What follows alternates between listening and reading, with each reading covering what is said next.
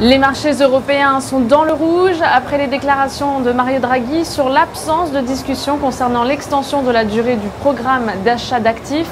À la fermeture, le stock 600 perdait 0,33% à 349,29. À Londres, le FTSE gagnait 0,18% à 6856,70. Et à Francfort, le DAX reculait de 0,72% à 10 675,30. Sur le marché français, à présent, le CAC 40 était en baisse de 0,34% à 4542,20 et il y avait 27 valeurs en baisse pour 13 valeurs en hausse. Et puis parmi les plus fortes baisses du jour, on retient Schneider Electric qui perd 2,31% à 60,85 euros. Danone cède 2,20% à 68,25 euros. ArcelorMittal baisse de 1,82% à 5,55 euros.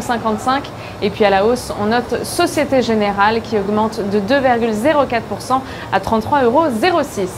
Sur le marché d'échange, l'euro vaut 1,1277, le dollar quant à lui vaut 101 yens 62 et sur le marché obligataire, le rendement de l'OAT 10 ans est en hausse de 0,4 BP à 0,17%. En direct depuis la bourse de New York, c'était Fanny Texier pour Trading Central, à très bientôt.